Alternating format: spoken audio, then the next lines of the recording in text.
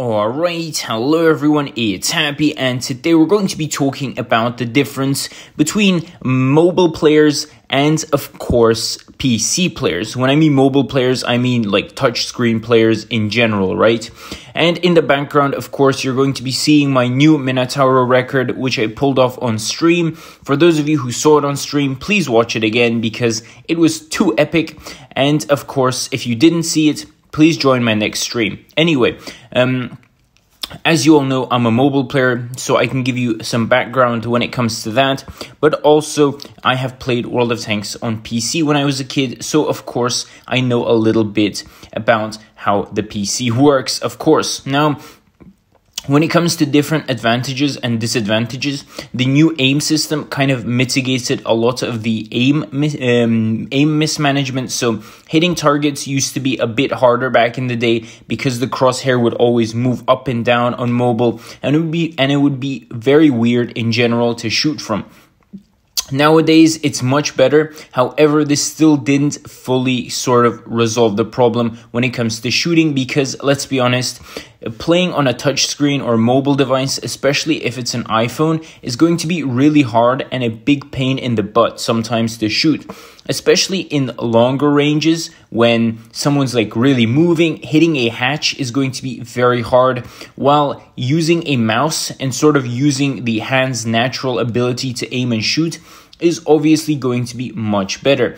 That's why if you are a mobile player, please turn off your um, please turn off your cross setting in the settings so you don't have to play against the PC players if you're a mobile player because this is very disadvantageous for you because PC players will be able to outshoot you 9 out of 10 times. I'm going to be honest, no matter how good your aim is, a PC player on average is just going to be much better at shooting than you. That's just going to come naturally. While for mobile, you need to sort of be better at it. And of course, mobile players are also going to see a lot more better players who play in tournaments.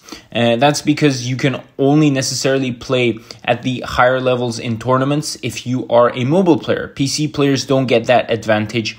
So, of course, uh, you might see a, fee, a little bit less competition on PC sometimes if you are in matchmaking. Again, this is not too big, and that is not big of a deal at all overall, mobile players also tend to um, play on smaller devices, and therefore the graphics is not going to run as well or as smoothly. I know people who play on Android devices that are like what?